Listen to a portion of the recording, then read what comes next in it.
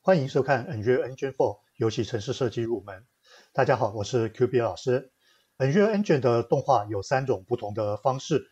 第一种是骨架动画 （Skeletal Animation），这是我们在这两周的课程主要要讨论的方式。第二种是材质动画 （Material Animation），它是透过材质编辑器来编写动态的材质效果。好，那编写的方式。跟 Blueprint 很像，这些动态材质会经过显像卡来做所谓的 shader 运算。那影响到的并不是只有光影和色彩而已，也可以对 3D 模型的顶点位置产生影响，从而产生呃，例如波浪或是果冻晃动的效果。那我们现在画面上看到的哦，就是 Unreal Engine 强大的这个水面的效果。那第三种是特效动画 （Visual Effect Animation），或者我们通常简称为 VFX Animation。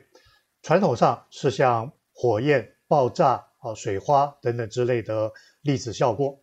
那不过现在有一些呃，像是这种万马奔腾之类的动画，也都都是用特效动画的方式来处理。那例如在 Unreal Engine 5的展示影片里面，好，我们看到在这一段有很多蝙蝠被主角惊吓，然后飞出洞穴这样子的一个效果呢，它其实就是用粒子系统的方式来处理的。好，所以它是一种特效动画。好，那这三种方式单独来说都是很重要的主题，而对初学者来讲，那当然还是先学会骨架动画，我们再来考虑其他的方式。骨架动画涵盖的范围很广，除了角色动作之外，那涉及游戏里面的枪支上膛或者赛车的甩尾，也都是骨架动画。不过，我们先把范围缩小在角色动作，也暂时以我们呃很熟悉的第三人称范本里面的这个角色来做例子。那在这边先说个题外话，这个角色它的。名字啊，英文我们把它称作是 mannequin。mannequin。好，那原本它是指橱窗里面的服装模特儿，好，像这些服装模特儿，或者我们在画图的时候常用的这个木头人，我们也把它称作是 mannequin。那这个字其实原本是一个法文字，好，所以它原始的念法其实跟英文差蛮多的，好，我们来听一下。门奖，好，就听起来有点像日文啊的这个什么讲什么讲啊，有有种意外的亲切感。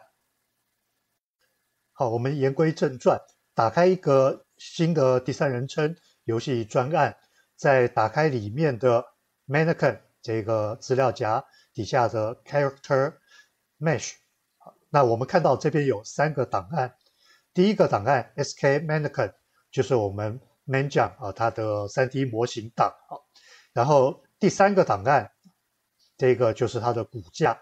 那中间这个档案是用在物理模拟用的。那这边我们暂时先忽略掉它。好，那大家记得在 Unreal Engine 里面不带骨架的 3D 模型，例如画面上面的这一个方块，我们把它称作是 Static Mesh。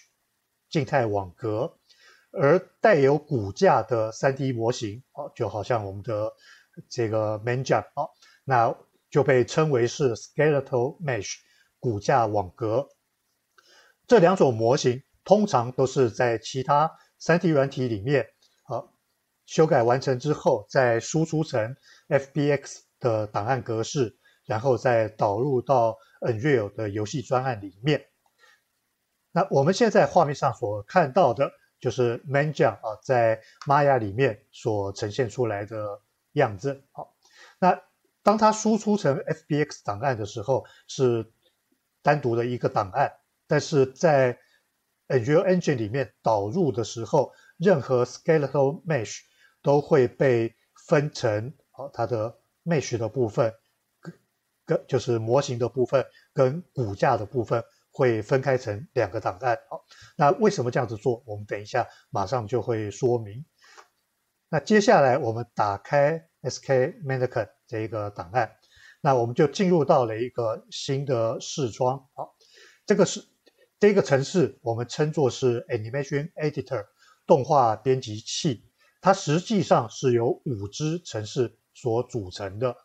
我们目前打开的这个是它的 Mesh 的部分，就是显示模型的部分。如果我们点选 Skeleton 这个地方，那出现的哦是它的骨架。那在 Unreal Engine 里面呢，其实真真正骨架本身它是一个虚拟的东西。好，所以骨架它其实是以这样子的一种树状的方式呈现出来。那为了方便我们在画面上面观看，所以骨架会指定一个预设的模型来在画面上面呈现它。好，就是我们在这边的这一个呃 Preview Mesh 啊预览模型这个部分来设定。啊，这个模型是可以换的，我们等一下也会再说明。那在这边的一些按钮，那像。这个部分就跟我们在关卡编辑器里面的操作是很像的。好，这个打光方式这个也是一样。好，那在秀这边我们可以选择把一些不想看到的部分关掉。啊，这边我先先不管它。好，那 character 这边我们可以指定只显示某一些部分。好，好，比如说在这个地方，我可以把它整个 mesh 关掉。它就不会显示 mesh。那当然，通常我们不会这么做了。好，呃，我们比较会用到的是底底下 bone 这边哦。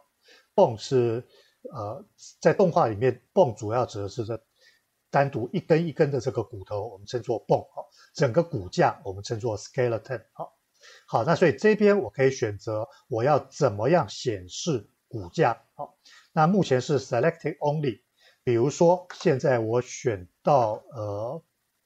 好，比如说我点选这个位置，好，那呃这边可能看不太清楚，换一换一根好了，好，选到它的，好，在这个地方，好，骨架这边它预设的 transform 啊，就预设的变换显示是选在旋转这边，因为大部分情况之下骨架是没有办法拉长、缩短或者位移的。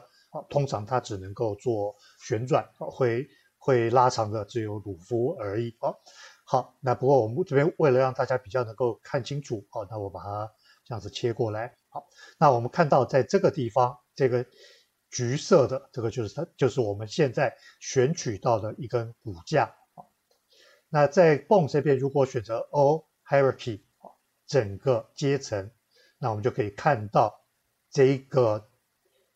角色完整的骨架模型就会通通显示出来。好，好，然后再来，呃，第三个标签是 Animation，那在这边就会显示这个角色目前能够做的一些动作，这些动作也都是在像 Maya 这样子的 3D 软体里面调好之后。它也是一个一个输出成 FBX 档案，再导入到我们的游戏专案里头。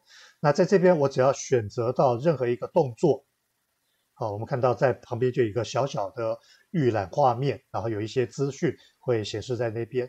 那如果在这个动作档上面直接按两下，好，那我们就可以实际看到这个动作的播放。好，那底下就是它的呃整个。时间轴的显示啊，好，但是在 Unreal Engine 里面，这些部分有一些是可以调整的啊。不过因为我们这个课是开在大二啊，同学们还没有学到角色动画这个部分啊，那所以这一有关怎么样去做角色的模型啊，然后怎么样调整动作等等等等，这个是大家未来会学到的。那在目前呢，我们就暂时不来跟大家讲怎么样去。去设这些啊，我那我们要怎么做呢？我们等一下会直接用虚幻商城里面现成的模型跟动作档来介绍这整个系统的使用。好，那接下来第四个标签是一个 blueprint 啊。那这个是一种特殊形态的 blueprint，啊，我们在下一段影片里面会再另外跟大家介绍。好，那第五个标签是物理模拟，啊，所以这个我们在比较后面的课程再来跟大家做介绍。好，所以目前在 Animation Editor 这个地方呢，我们比较常会用到的是 Animation，啊。这个部分，好，等一下我们会再进一步的说明。那接下来我们先把我们的专案先关掉。好，这边我都把它先关掉。那呃，我们先回到呃游戏启动器啊，Epic Game Launcher 这边啊，因为我们在接下来的例子里面，我们要使用到虚幻商城里面的两个资源包。好，第一个资源包叫做 Animation Starter Pack，好，它是一个免费的资源，所以大家等一下操作的时候就直接搜寻，好，在上面 Search Bar Product，好，搜寻产品这边直接打 Animation Starter Pack，搜寻到之后你就购买，然后把它加入到我们刚刚所见的那个第三人称游戏专案，好，那这个是一一系列的一些可以用在呃 m a n 奖上面的动作哦，那它叫做 Starter Pack，也就是它其实主要的用途就是用来做学习的。好，第二个我们会用要用到的资源包呢，我们称作 Scan 3D People。好，在这里，抱歉，我找一下。好，OK，好，好，这个 Scan 3D People Pack，好，扫描扫描的 3D 人物资源包。那这个资源包它本来的用途是用来做呃建筑导览图里面的这些呃路人甲乙丙丁，好，所以我们可以看到都是一些这个上班族的打扮。好，那我们使用这个资源包的原因是因为。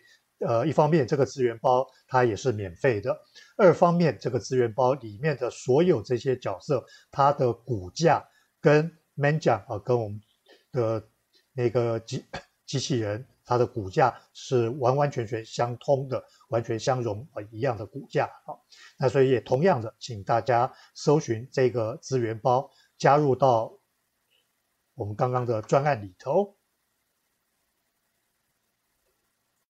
我们重新打开刚才的专案，来很快的看一下这两个资源包。